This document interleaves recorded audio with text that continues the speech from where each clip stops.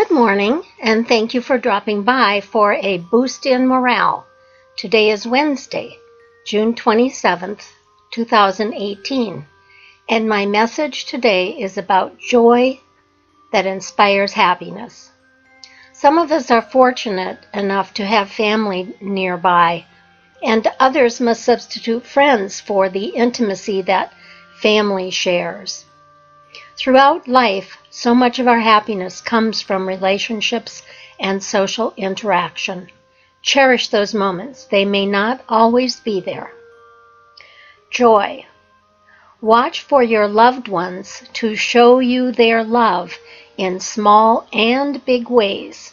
The petals will be strewn in your path to show you the way to joy and happiness.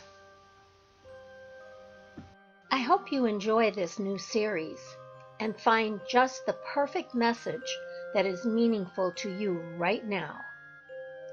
Please comment, like, subscribe, share, and ring that bell. May God bless you and keep you safe. I am Natascha.